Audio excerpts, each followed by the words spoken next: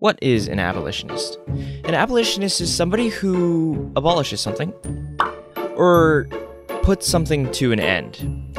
For example, I abolish the water bottle. I present to you Thomas Garrett. Thomas was born in Upper Darby, Delaware County, Pennsylvania. Say that 10 times fast. He was a member of the Religious Society of Friends. Anyone who was a member of this society was called a friend, hence the name the Society of Friends. They were known for their unique style in worship, in dress, and in speech. Most friends believed that life was precious and God created everyone equal.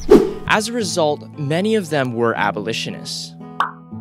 Or at the very least, were against slavery. Thomas was one of these.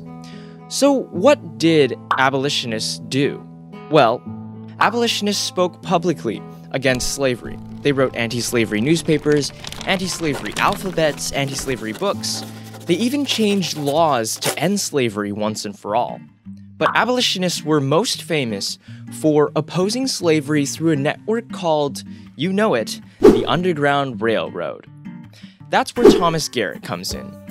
He was always against slavery, but he didn't become an abolitionist until one fateful day. Thomas and his family often hired free black men and women to work on their farm. One day, 25 year old Thomas rode home to find that one of their employees, a black woman, was kidnapped by two men in a wagon.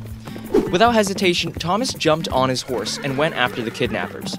They had a head start, but one of the wheels on their wagon was broken and left a distinct mark for him to follow.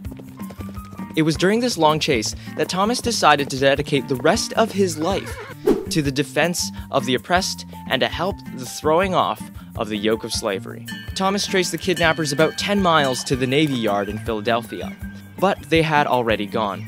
After asking around, Thomas tracked them another 10 miles to Kensington. He finally caught up to the wagon and found the two men in the bar and the kidnapped woman in the kitchen. He secured her release and brought her home. From that day on, Thomas never failed to help a fugitive who was looking for freedom. In the end, he assisted around 2,700 freedom seekers. And that's how Thomas Garrett became an abolitionist. Whoa!